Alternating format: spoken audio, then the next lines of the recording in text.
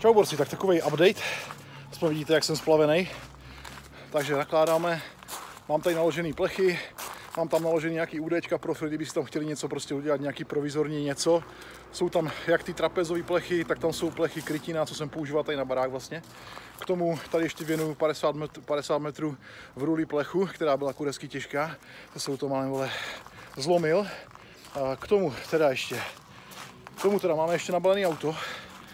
Autě, jak vidíte, jsou tam nějaký kanistry soli, já jsem mi super klepe ruka, protože teďka už tady hodinu všechno dělám, počkám, než jde kolega. K tomu jsem tam vzal nějaký, nějaký kabeláže, nějaký cikiny, nějaký prodlužky, nějaký, uh, nějaký průtokáč, kdyby nefungovala elektrika, nebo teda nefungovala tahle ta, něco se stalo prostě, ať tam mají aspoň náhradní tenhle ten deky, k tomu různé plachty, k tomu jim tam věnuju nějakou pilu, ještě motorovku jim tam dám a to je tak všechno.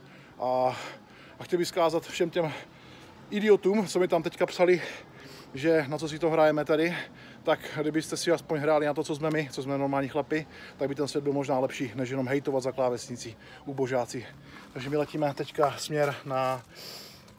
Kurva, kam to jedu? Na Pánov. Čus. Pomáhajte taky.